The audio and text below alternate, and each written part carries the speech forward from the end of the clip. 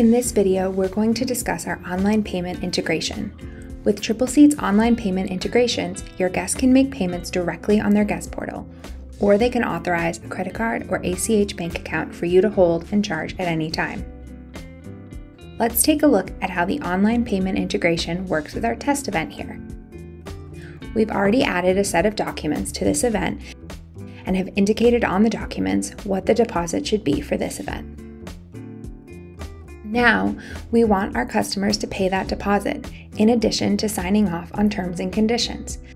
To do this, we want to share at least one of these layouts. This will create a secure connection and activate the payment portal for your guest. Please note that if you only send this link from your regular email, this won't activate the payment portal. You'll either need to send a discussion email through Tripleseat or directly share documents from this Docs tab. You have a few other options when it comes to sharing the payment portal. You can share the guest portal itself by going to the Actions button on the event, clicking Share, and sending a discussion message. You can also go to the Payments tab and next to the created payment, click the gear icon and choose Request Payment. The final option you have is clicking on the Credit Cards tab and using the gear icon to request a credit card authorization from your customer. Any of these options will give your customer a link to access their payment portal. For our example here, we're going to share the contract with the customer. Make sure you are clicking Share, as using the link button next to Share would not generate a payment portal for your customer. When you click Share, you'll choose an email template to send alongside the document. Once sent, your guest will receive an email with a link containing the shared documents and any payments attached. Please note that the email your customer received creates a unique link to log into the guest portal and cannot be shared. This means that if your customer forwards the email to someone else, that person would not be able to access the payment portal. Once they click on that link, they are able to come in and check out event details, as well as the document that was just shared.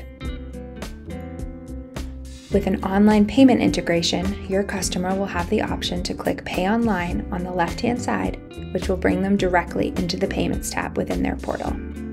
From here, the guest will have the option to select Pay Now next to any outstanding amount. If all you require is a card on file to secure the event rather than a payment made, the customer will also have the option to enter in their credit card information or their bank account information here.